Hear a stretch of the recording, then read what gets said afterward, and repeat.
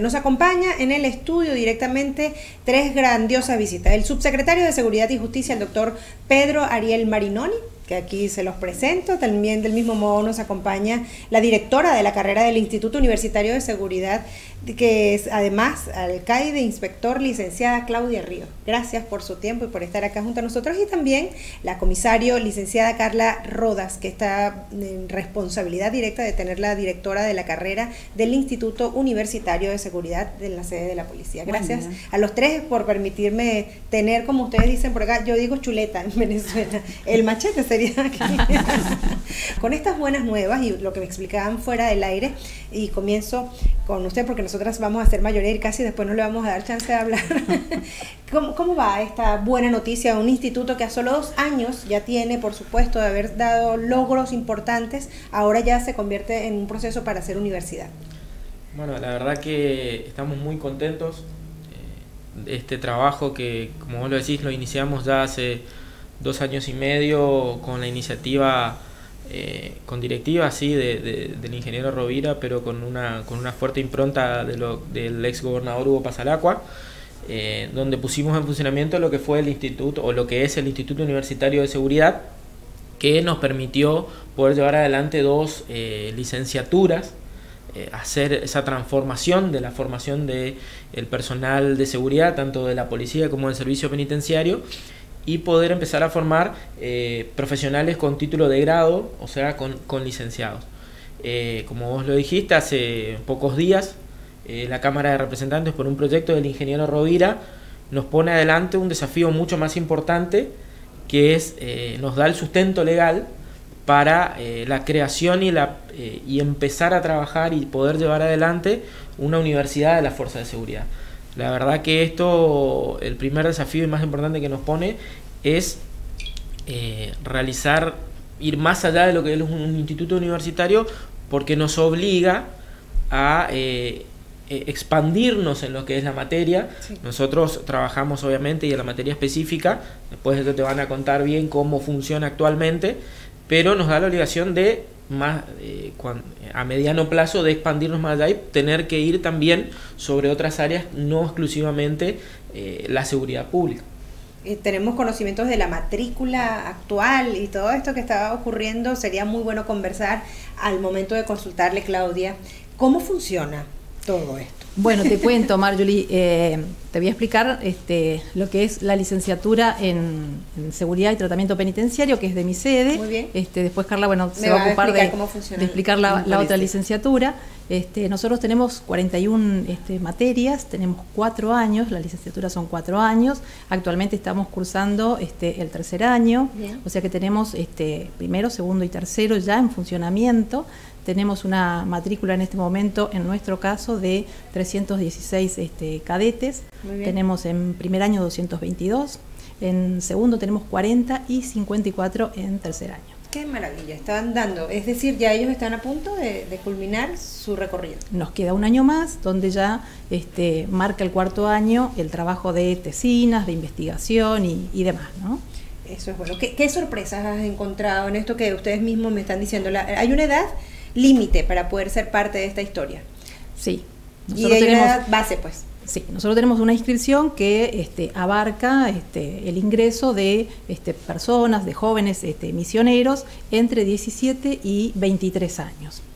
Esa es la de la edad. El que no lo piense antes ya después no va a poder, sino que estudie otra carrera y a lo mejor más adelante se aliste de otra manera. Eh, es así, ahí donde, es ahí donde empieza a jugar mucho lo que nosotros buscamos o, que en todas las fuerzas se busca, que es la vocación de servicio.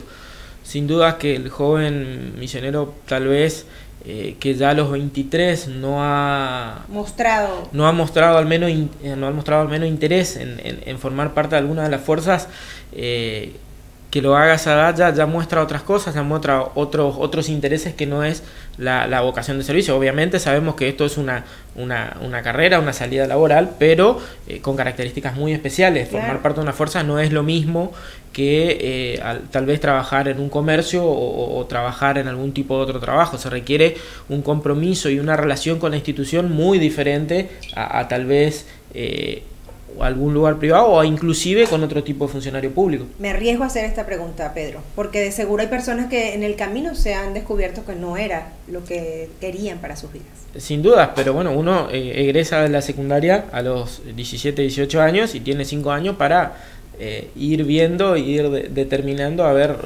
nadie, nadie dice que, que tiene que ser, que vos, como decís vos, podés haber iniciado una carrera universitaria y bueno, no es lo tuyo, pero bueno, son varios años en esa brecha donde podés inscribirte eh, y, poder tener tu oportunidad. Y acá hay otra cosa importante, eh, es la misma oportunidad para todos los misioneros, el chico que está acá en Posada tiene la misma oportunidad de inscribirse y hacer el examen online como el chico que está en Andresito. Eh, eso es lo primordial de, de, este instituto, que el que esté dentro de eh, o cumpla con los requisitos para poder formar parte tenga su misma oportunidad igual a la de cada joven misionero que quiera formar parte. Bueno, Carla, en el instituto como tal hay cuántas carreras? Tenemos dos carreras, sí. Por, eh, actualmente tenemos la licenciatura en seguridad, que es la que dura cuatro años, y eh, tenemos la diplomatura en seguridad, que es una duración de un año y medio, ¿sí? La diplomatura se refiere al personal subalterno, sería la gente que antes tenía un cursado y bueno, ahora hace un año y medio y se recibe de diplomado.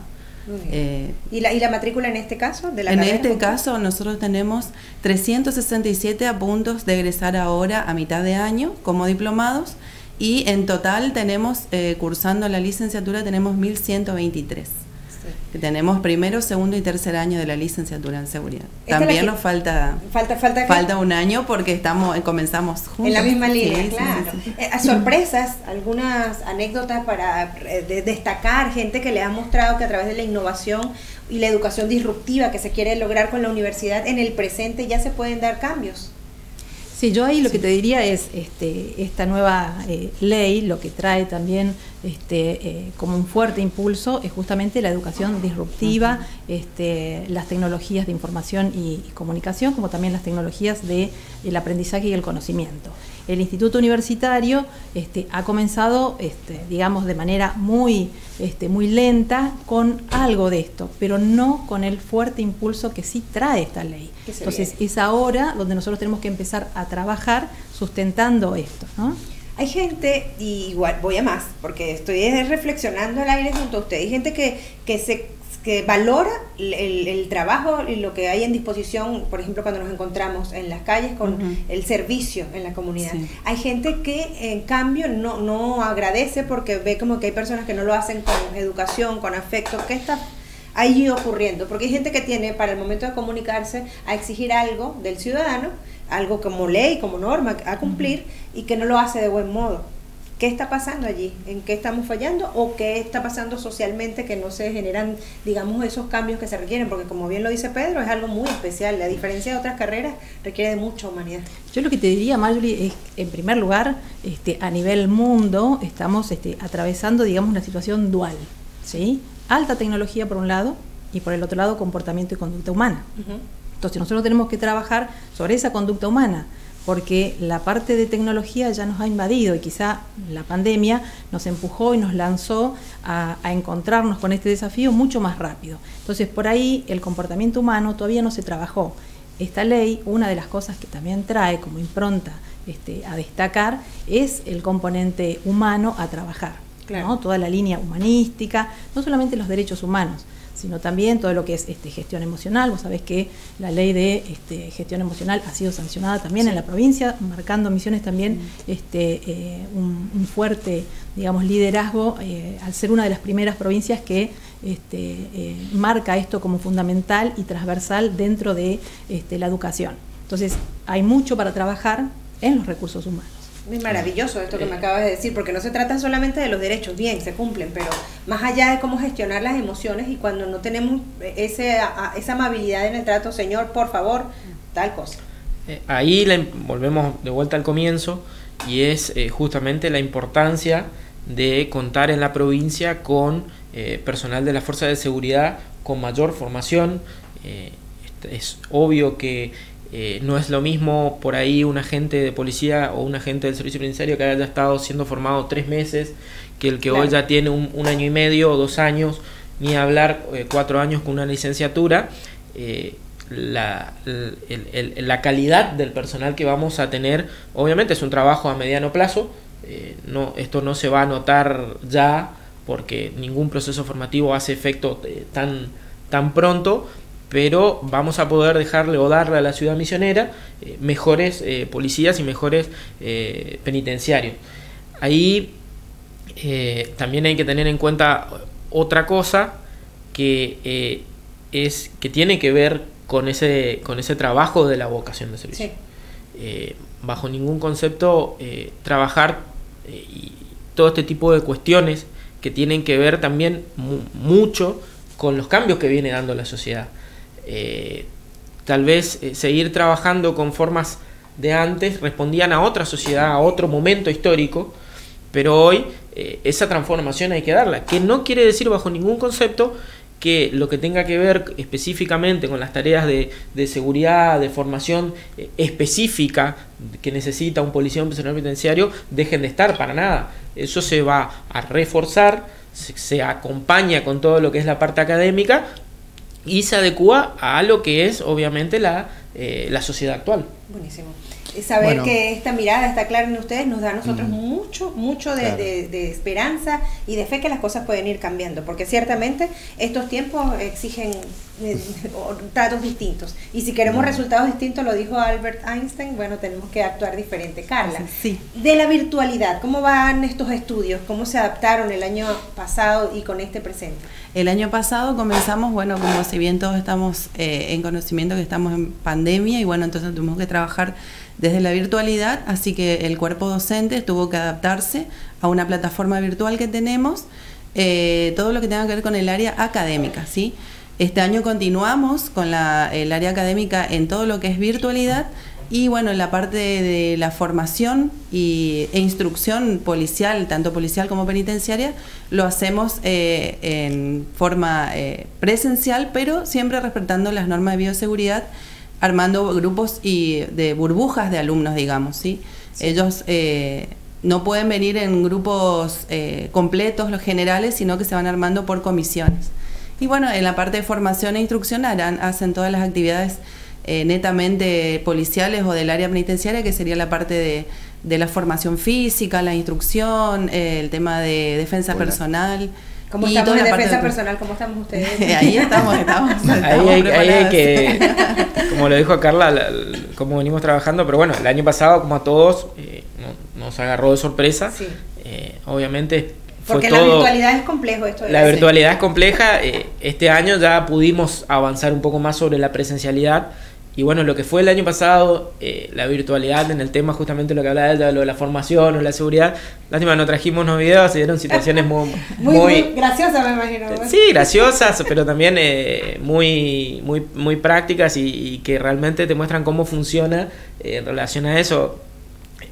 justamente eh, en lo que es defensa personal, habíamos eh, como los chicos en la, en la cámara eh, practicando por ahí, o el desfile mismo, practicando en las cámaras, era una situación que, que, bueno, fue la del momento, hoy como digo, ya avanzamos, este año ya nos encontramos trabajando con presencialidad, cumpliendo protocolos, pero el año pasado fue muy peculiar. Bueno, en el otro estudio se encuentra Jorge Curle, quiere compartir con nosotros una pregunta. Una, una preguntita, saludarlos, felicitarles.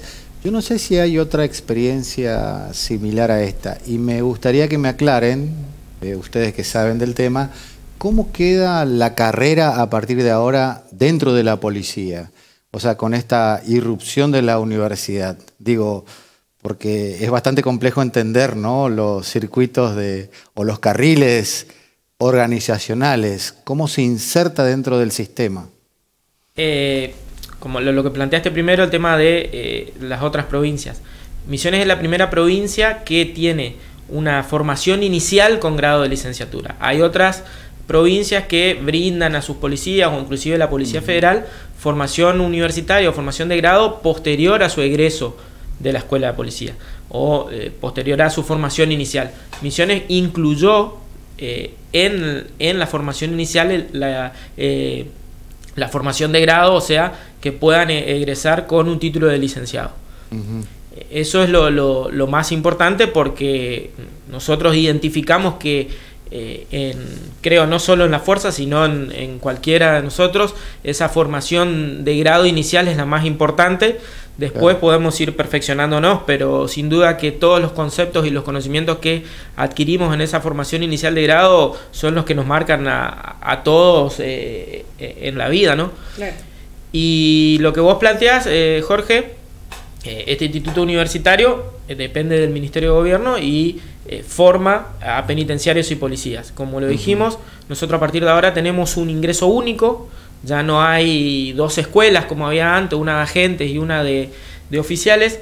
Todos los chicos se inscriben en una misma plataforma, eh, rinden el mismo examen, los mismos procesos de selección y, e ingresan todos juntos con diferentes cupos, obviamente, la policía con un cupo superior al del servicio, da los requerimientos que tiene la provincia, y una vez eh, cumplido una etapa formativa inicial, que eso es otra cuestión importante, que es mm. todos los chicos que entran al instituto, el instituto, o sea, todos los que van a formar parte de una fuerza de seguridad, tienen una formación inicial de un año igual, y posterior a eso, recién se separan quienes van a ser parte del cuadro de oficiales y quienes van a ser parte del cuadro de suboficiales.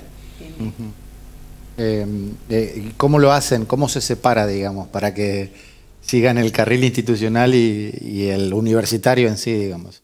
Bueno, ahí, ahí eh, lo que se hace es un, análisis interdisciplinario donde se tienen en cuenta varios factores. Lo más importante, obviamente, es su propio rendimiento eh, académico sumado a sus propias aptitudes personales, porque no es lo mismo eh, vos podés ser eh, muy bueno académicamente, pero si no tenés aptitudes de conducción, eh, no, tal vez no vas a servir para un cuadro de oficiales. Por eso el, análisis que se hace es un análisis multidisciplinario donde principalmente se tienen en cuenta estas dos cosas, el rendimiento académico y las aptitudes como para formar parte del cuerpo de oficiales, el que no seguirá, pero ya dentro del cuadro de lo que son el personal subalterno. ¿Se termina con esto la, eso desgastante que siempre fue de, querer ubicar chicos, ¿viste? Porque siempre se consideraba como la policía un, lugar de empleo, ¿no? Eh, digo, no sé si, si, me equivoco o no, pero esa sensación tengo, ¿no? Que por ahí no tenía que estudiar, bueno, a la policía, a ver si hay algún contacto. Eh, con esto se termina un poco porque depende del mérito también, ¿no? Sin dudas, eh, uno de los efectos principales de, esto fue precisamente lo que hablábamos hace un ratito, por eso se pone una edad límite, por eso se fijan ciertos criterios y se le da la oportunidad, vuelvo a repetir, a todos los misioneros, por eso hay un examen, un primer examen online, eh, donde cualquier chico desde cualquier lugar de la provincia con, eh, con acceso a una computadora, que hoy sabemos que a pesar de que hay lugares que aún todavía le cuesta, en cualquier lugar de la provincia puedes tener acceso a esa a, una tecnología como para rendir un pequeño examen. Y después de eso, todos los chicos que aprueban ese examen, nosotros tuvimos números, en esto quiero felicitar también a, acá a los dos equipos, eh, realizamos entrevistas eh, psicotécnicas el año pasado eh, de manera online a más de 4.000 chicos entre ambas fuerzas y realmente fue muy importante y fue nuevamente eh, darle la oportunidad a todos esos chicos que el año pasado por las dificultades propias seguramente no iban a poder venir al instituto a, hacer el examen, pero con un esfuerzo muy grande técnico y, de los profesionales pudimos llevarlo a cabo. Usted con esto me permite eh, interesantemente hacer una pregunta. La presencia de la mujer, ahora que contamos con dos féminas en el estudio, policías específicamente, la presencia de la mujer, bueno, ya ustedes a otro nivel de licenciatura, eh, ¿cómo se ve en estos últimos tiempos? ¿Sigue siendo una, está en paridad? ¿Sigue siendo menor? O yo veo una presencia bastante equitativa. No, la, presencia es, equitativa, este, el ingreso lógicamente que es eh, por mérito y a veces también es por necesidades este, específicas, en nuestro caso, de cubrir determinadas este, unidades. Ustedes saben que nosotros además tenemos una unidad de, de mujeres, entonces también vamos evaluando esa, esa parte, ¿no? Sí, sí, sí, sí, Es, eh, la presencia de la mujer dentro de la institución policial es, es, grande. Eh, tenemos incorporadas más de 500 mujeres dentro del, del instituto y bueno, estamos eh, también el grupo, el, cuerpo de instructores y de docentes está conformado por mujeres, así que también los directivas. Así que tenemos. Sí, eh, la Policía de Misiones da pronto va a contar ya con una promoción de oficiales mujeres que ya estaría en condiciones tal vez de, si, la, si con la decisión política obviamente más adelante, de conducir las fuerzas. O sea, ya el, grado, teniendo en cuenta la primer promoción, seguramente en pocos años ya podrá tener la oportunidad, por una cuestión de grado, de conducir la fuerza de seguridad. Bien, te agregaría, perdón, te agregaría algo, Marjorie, ahí. Este, inclusive en nuestra currícula actual hemos incluido temáticas de género. Es decir, este, aparte de todo lo que es la educación disruptiva y demás que te mencionaba hoy, este, también eh, buscamos como eje transversal incluir esta, esta temática. Interesantísimo, interesantísimo todo lo que se viene y esto es como para mucha conversación, Jorge alguna otra consulta que no, no, no, no, no, no, por mí.